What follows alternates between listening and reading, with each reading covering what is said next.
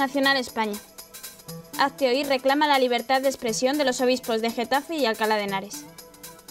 Los intentos de censurar a los obispos de Alcalá de Henares y Getafe en los últimos días, debido a que publicaron un documento que criticaba la ley de transexualidad de la Comunidad de Madrid, han llevado a Acte Oír a emprender una campaña en defensa de la libertad de expresión de los prelados.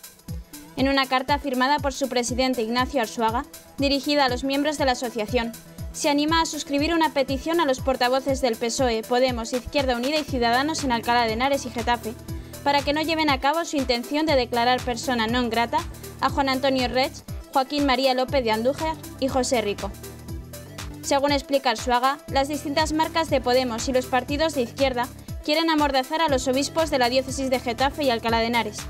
Además, el presidente de Hazte Oír incide en que para estos partidos la libertad de expresión debe quedar circunscrita a los suyos, a quienes jalean leyes discriminatorias como esta sobre transexualidad.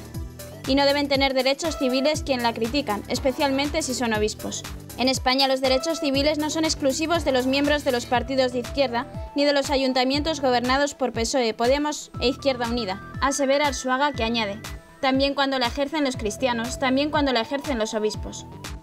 Bajo la premisa de que la libertad de expresión es para todos, desde Hazte Oír se señala en la petición online que ha lanzado que nadie debe ser juzgado por dar su opinión y expresar sus ideas de modo pacífico. Y se indica a los concejales que con la iniciativa para repudiar a los obispos están sembrando un procedente peligroso, la violación de los derechos fundamentales de los vecinos de sus municipios.